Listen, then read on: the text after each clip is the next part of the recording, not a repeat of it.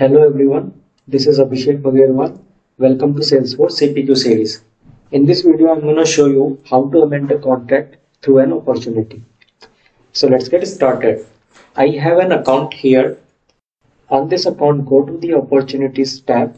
You can see all of the opportunities available.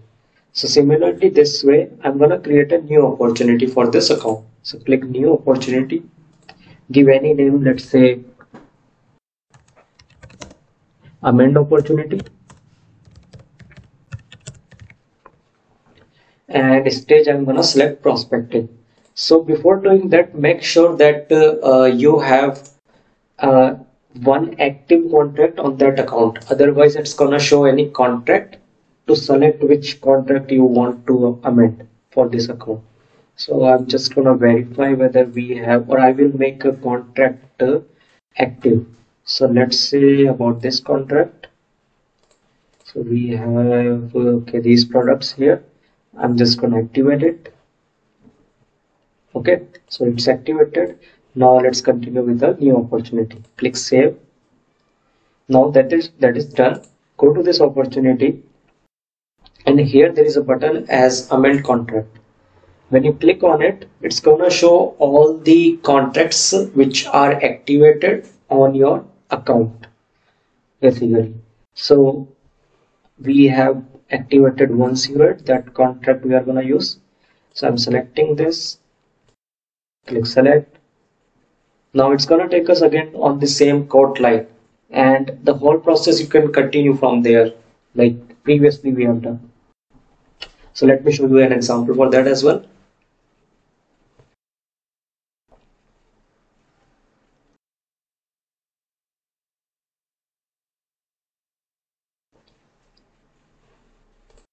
let's see what existing things this contract does have. Only one product it does have loss and damage warranty with quantity one for two years as subscription term. Okay.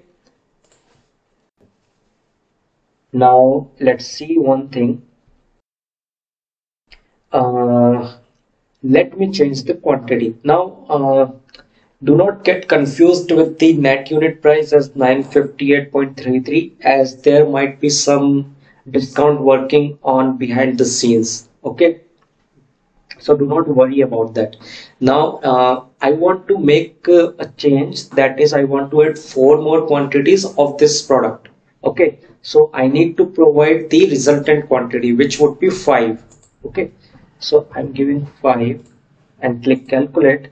It's gonna show you the net total of four quantities only here okay so let's say around it's uh, 950 so around 300 380 380 uh, 3800 something it's gonna price. Okay so that is coming over here. Click save. Once that is done the same process you need to follow. You need to generate the order for this. Click uh, order. Go to the related tab open your order. In the related you can see this product is there activate your order. Now go to details and generate the contract for this order.